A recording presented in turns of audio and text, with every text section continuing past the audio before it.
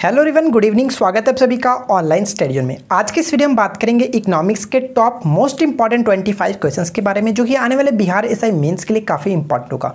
इस वीडियो को आपको लास्ट तक देखना है फ्रेंड्स क्योंकि यहाँ पे जो भी मैं क्वेश्चन आपके साथ डिस्कस करूँगा, वो काफ़ी चुनिंदा प्रश्न है। और इससे पहले मैंने आपको ऑलरेडी फोर्थ पार्ट तक कंप्लीट कराया था, अगर आपने नहीं देखा तो लिंक आपको इस वीडियो के नीचे डिस्क्रिप्शन में मिलेगा।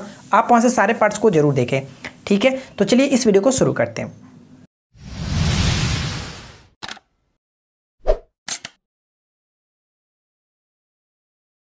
तो फ्रेंड्स आज की इस वीडियो में मैंने क्वेश्चंस को बाइलैंग्वेज रखा है आपके डिमांड के ऊपर और अगर आप इंग्लिश को प्रीफर करते हैं तो राइट साइड में देखिएगा और अगर आप हिंदी को प्रीफर करते हैं तो मेरे साथ लेफ़्ट साइड में फॉलो कर सकते हैं।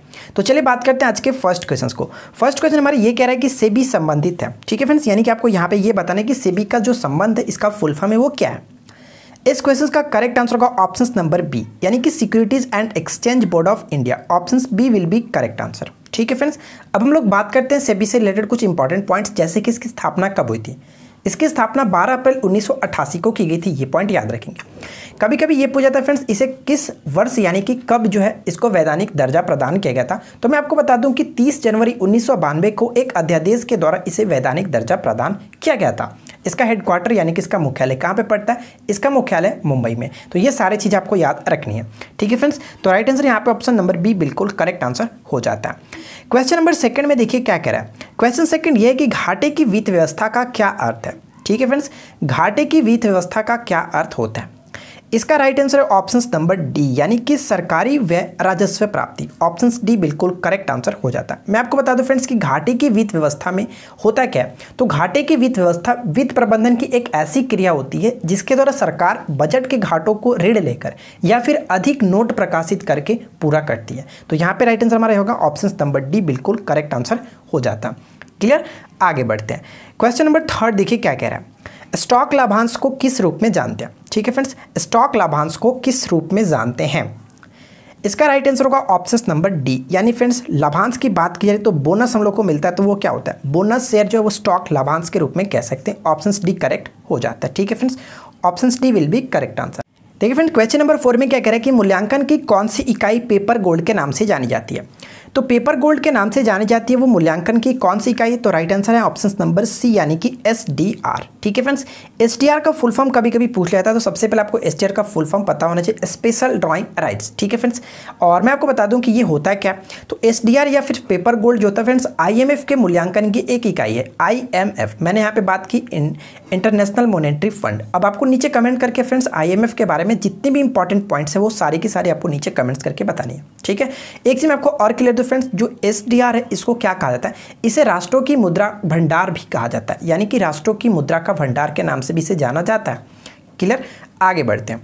क्वेश्चन नंबर फिफ्थ में देखिए क्या कह रहा है। क्वेश्चन नंबर फाइव ये है कि भारत में पंचवर्षीय योजनाओं की जो संकल्पना प्रस्तुत किसने की थी? यानी कि की गई थी, किसके द्वारा की गई थी?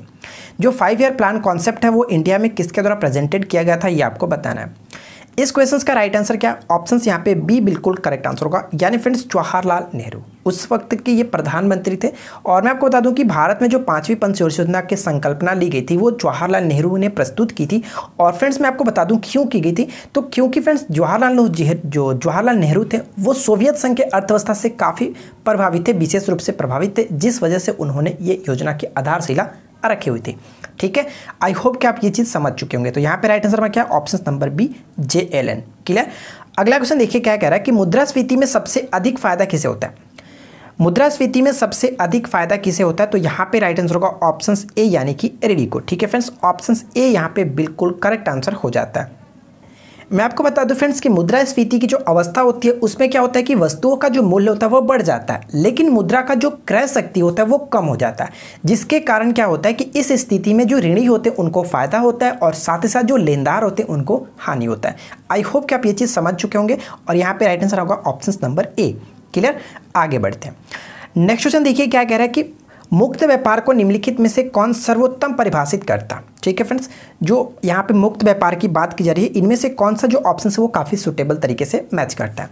तो यहाँ पे राइट आंसर होगा ऑप्शन नंबर बी यानी कि मुक्त व्यापार का मतलब ये हुआ कि निर्यात और जो आयात पर कोई भी प्रतिबंध ना हो। ठीक है फ्रेंड्स तो यहाँ पे राइट आंसर हमारा ऑप्शन नंबर बी बिल्कुल करेक्ट आंसर हो जाता है। क्लियर आगे बढ़ते हैं। देखिए नेक्स्ट क्वेश्चन हमारा क्या कह रहा है कि बैंकिंग क्षेत्र में, ठीक है फ्रेंड्स बैंकिंग क्षेत्र में सी बी एस जो होता है, इसमें सी का पूर्ण रूप क्या होता है?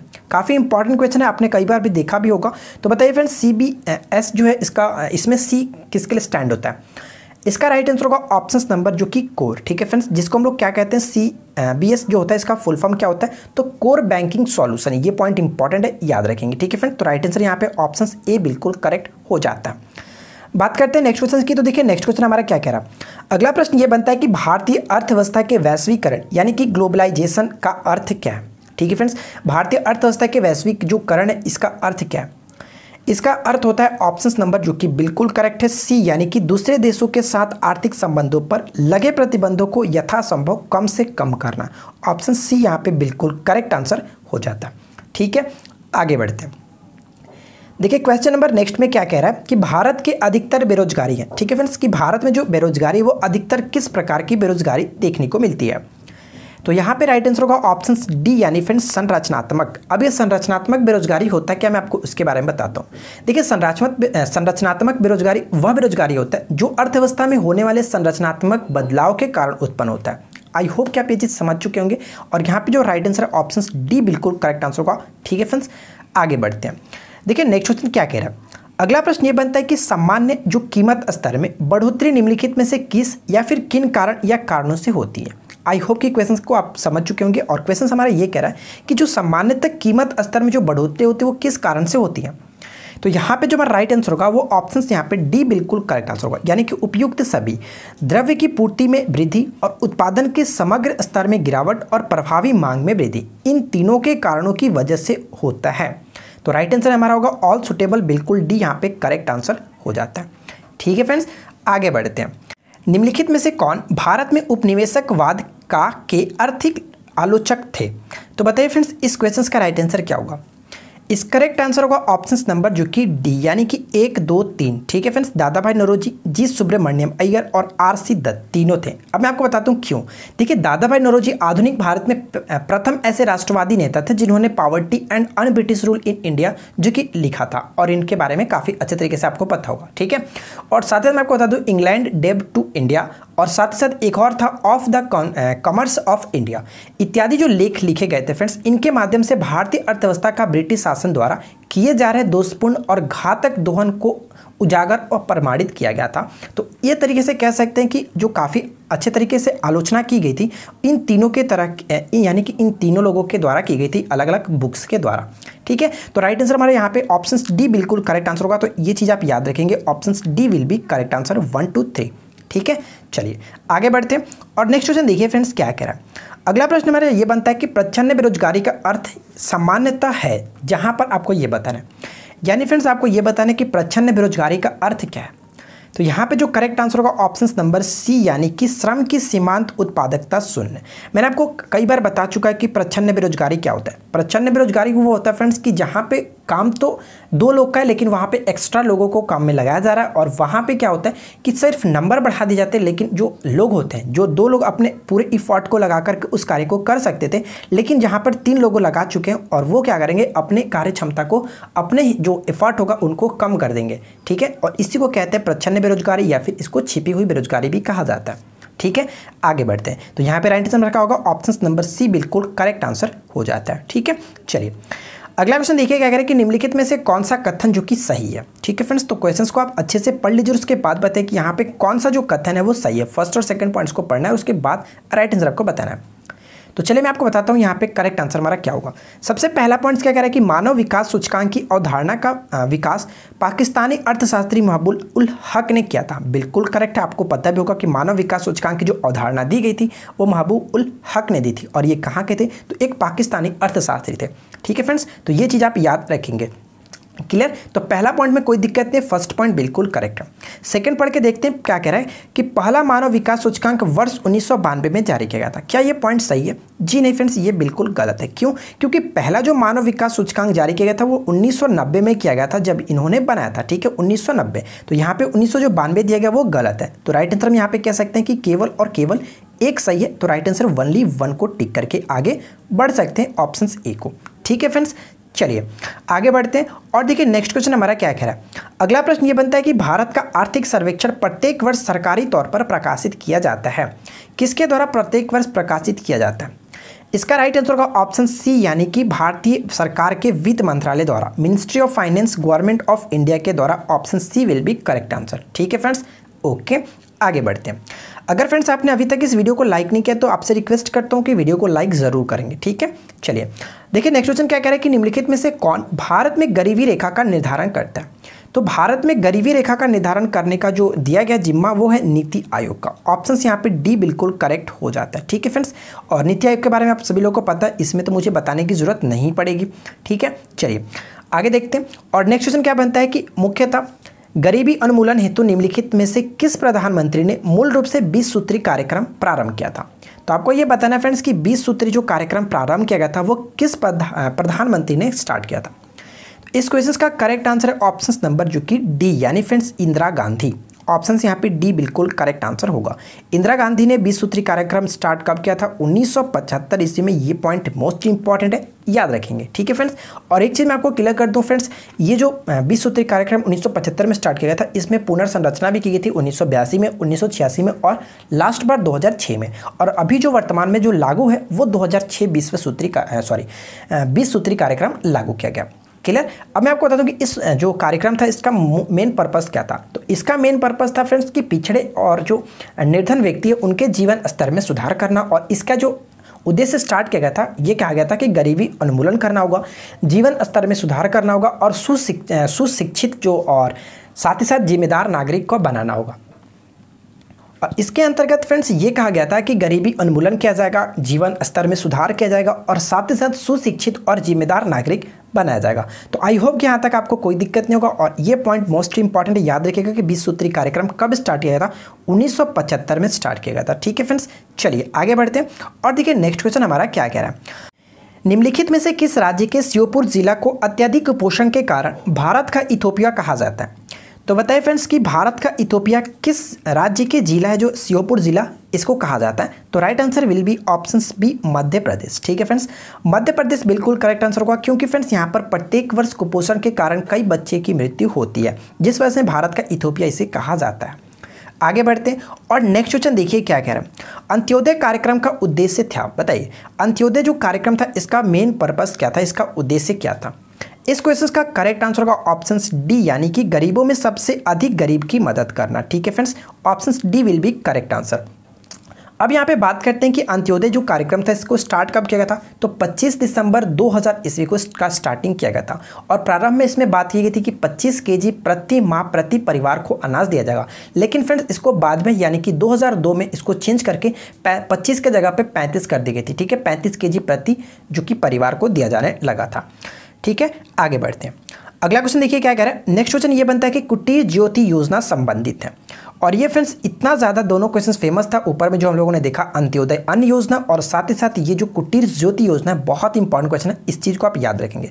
इसका राइट आंसर है ऑप्शन नंबर सी यानी फ्रेंड्स ग्रामीण क्षेत्रों में जो विद्युतीकरण से संबंध रखता है। यानी कुल मिलाकर बात करें तो ग्रामीण क्षेत्रों में गरीबी रेखा से नीचे जीवन यापन करने वाले परिवारों को विद्युत सुविधा उपलब्ध कराने से संबंध रखता है। तो राइट आंसर यहाँ पे सी बिल्कुल करेक्ट आंसर हो जाता है। ठीक है फ्रेंड्स आगे बढ़ते हैं।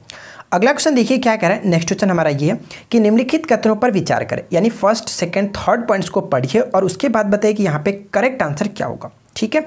चलिए, एक एक करके देखते हैं। पहला पॉइंट्स क्या कह रहा है कि वर्ल्ड डेवलपमेंट रिपोर्ट आईबीआरडी का वार्षिक प्रकाशन है। क्या ये करेक्ट है? जी फ्रेंड्स, बिल्कुल करेक्ट है, इसमें कोई दिक्कत नहीं है। यानी कि आईबीआरडी के द्वारा ही वर्ल्ड डेवलपमेंट जो रिपोर्ट जारी किया जाता है, ठीक है? अब यहाँ पे बात किया गया है कि आईबीआरडी का फुल फॉर्म क्या है। तो आईबीआरडी का फुल फॉर्म भी पूछा जाता है कभी कभी तो आप इसको याद रखेंगे international bank for reconstruction and development ये भी करेक्ट है, फ़र्स्ट पॉइंट भी करेक्ट था। थर्ड पॉइंट में क्या करें कि यह एक अंतर्राष्ट्रीय वित्तीय संस्था है जिसकी स्थापना 1944 में की गई थी। ये पॉइंट भी मोस्ट इंपॉर्टेंट है, याद रखेंगे, ठीक है फ्रेंड्स तो यहाँ पे कह सकते हैं कि तीनों का तीनों पॉइंट्स बिल्कुल करेक्ट है, इसलिए राइट आंसर हम डी को टिक करेंगे सभी एक, दो, तीन, ठीक है फ्रेंड्स तो राइट आंसर यहाँ पे ऑल वन टू थ्री बिल्कुल करेक्ट हो जाता है। क्लियर आगे बढ़ते हैं। अगला क्वेश्चन देखिए क्या कह रहा है। नेक्स्ट क्वेश्चन ये कह रहा है कि दुर्गापुर इस्पात संयंत्र किसके सहयोग से स्थापित किया गया था? जो दुर्गापुर इस्पात संयंत्र स्थापित किया गया था, ये किस देश के द्वारा स्थापित किया गया था फ्रेंड्स तो इस क्वेश्चन का करेक्ट आंसर होगा ऑप्शन नंबर सी यानी कि ग्रेट ब्रिटेन ठीक है? ऑप्शन सी बिल्कुल करेक्ट आंसर हो जाता। है कब स्टार्ट किया था? 1956 में ठीक है फ्रेंड्स? याद रखिएगा द्वितीय पंचयोजना में आपको पता है कि द्वितीय पंचयोजना में भारी उद्योग की स्थापना पर ज़ोर दिया गया था और उसी के अंतर्गत इसको स्टार्ट किया था साथ साथ भिलाई और पोका जो रावल केला ठीक है? लेकिन बोकारो जो था वो ती, तीसरे पंचयोजना में स्टार्ट किया था ये पॉइंट याद रखेंगे। लेकिन मैं आपको बताना ये चाहता था फ्रेंड्स जो भिलाई है वो किस देश के सहयोग से स्थापित किया था? तो सोवियत संघ यानी कि जिसको वर्तमान में रूस कहते हैं। और साथ ही साथ अगर बात करें राहुल किला तो राहुल किला जो है वो पश्चिम जर्मनी से स्टार्ट किया गया था सहयोग से। क्लियर और बोकारो को मैंने आपको बताया तो बोकारो जो है वो भी सोवियत संघ से ही स्टार्ट किया गया था। तो ये सारे पॉइंट्स आपको याद रखने क्योंकि मोस्ट इंपॉर्टेंट होते हैं। क्लियर ऐसा ज़रूरी थोड़ी है कि मैं आपको दुर्गापुर के बारे में बता रहा हूँ तो दुर्गापुर ही पूछा जाए। तो जो मैंने आपको एक्सप्लेनेशन में बताया, वो भी हो सकता है कि पेपर में देखने को मिल सकता है। तो इसीलिए बोलता हूँ कि आप ध्यान से सुना कीजिए। ठीक है? अगला पॉइंट देखिए, क्या करें कि जैसे जैसे अर्थव्यवस्था विकसित होती है, राष्ट्रीय आय में तृतीय क्षेत्र का योगदान क्या होता है? बताइए फ्रेंड्स जैसे जैसे अर्थव्यवस्था विकसित होती है, उस वक्त जो राष्ट्रीय आय होता है और उस राष्ट्रीय राष्ट्रीय आय का तृतीय क्षेत्र में योगदान क्या होता है, वो भी बढ़ता जाता है। ठीक है फ्रेंड्स मैं आपको बता दूँ कि हमारे राष्ट्रीय आय में सबसे जो बड़ा योगदान होता है, वो थर्ड सेक्टर का होता है, यानी कि तृतीय क्षेत्र का ही होता है, जिसको सेवा क्षेत्र के नाम से भी जानते हैं। ठीक है? तो यहाँ पर क्या होता है कि वो बढ़ता जाता है ऑप्शन सी बिल्कुल करेक्ट आंसर हो जाता है। क्लियर आगे बढ़ते हैं। देखिए नेक्स्ट क्वेश्चन हमारा क्या बनता है? अगला क्वेश्चन ये बनता है कि ग्रामीण गरीब गरीबी उन्मूलन के लिए पूरा मॉडल अपनाने का समर्थन किसने दिया था? One of the most important question बताए फ्रेंड्स पूरा मॉडल जो अपनाने का समर्थन किया गया था, किसके द्वारा किया गया था?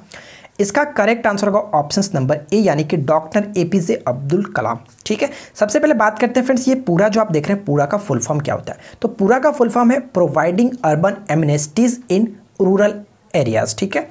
I repeat providing urban amenities in rural areas I hope कि आपको ये चीज़ समझ में आ गई होगी। और फ्रेंड्स जो ए पी जे अब्दुल कलाम है, इनके द्वारा जो विजन 2020 जो दिया गया था, उसी योजना के अंतर्गत इसको जो कि मॉडल प्रस्तुत किया गया था। तो राइट आंसर यहाँ पे ऑप्शन ए बिल्कुल करेक्ट आंसर होगा, याद रखेंगे। क्लियर आगे बढ़ते हैं। फ्रेंड्स अगर आपने इस वीडियो को अभी तक लाइक नहीं किया तो प्लीज़ आपसे रिक्वेस्ट करता हूँ कि वीडियो को लाइक ज़रूर कर दीजिए फ्रेंड्स और साथ अपने दोस्तों को भी शेयर कर दीजिएगा। क्लियर देखिए नेक्स्ट क्वेश्चन क्या कह रहा है कि राष्ट्रीय आय है। राष्ट्रीय आय क्या होता है? यानी कि नेशनल इनकम का संबंध किससे? इनमें से ऑप्शंस के अकॉर्डिंग देखना चाहे तो राइट आंसर क्या होगा? ऑप्शंस नंबर बी बिल्कुल करेक्ट आंसर यानी कि उत्पादन लागत पर निवल राष्ट्रीय उत्पाद ऑप्शंस नंबर बी यहाँ पे बिल्कुल करेक्ट आंसर हो जाता है। ठीक है फ्रेंड्स अब बात करते हैं कि राष्ट्रीय उत्पाद होता क्या है। तो किसी देश के नागरिकों द्वारा किसी दी हुई समयावधि सामान्यतः एक वर्ष लिया जाता है। यानी फ्रेंड्स दी हुई समावधि में यानी कि एक वर्ष में उत्पादित कुल अंतिम वस्तुओं और सेवाओं का मौद्रिक मूल्य होता है। उसी को कहते हैं राष्ट्रीय आय। आई होप कि आप ये चीज़ समझ गए होंगे। तो यहाँ पे राइट आंसर क्या होगा? ऑप्शन नंबर बी बिल्कुल करेक्ट हो जाता है।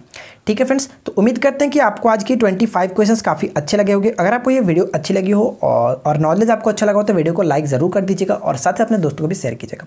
इसी तरह की और वीडियो को देखने के लिए चैनल को सब्सक्राइब करके नोटिफिकेशन बिल को ऑन कर लीजिए ताकि फ्यूचर में जो भी न्यू वीडियोज़ आए, आपको नोटिफिकेशन मिलती रहे। तो हम मिलते हैं आपके साथ नेक्स्ट वीडियो में। Thanks for watching keep watching keep learning have a good day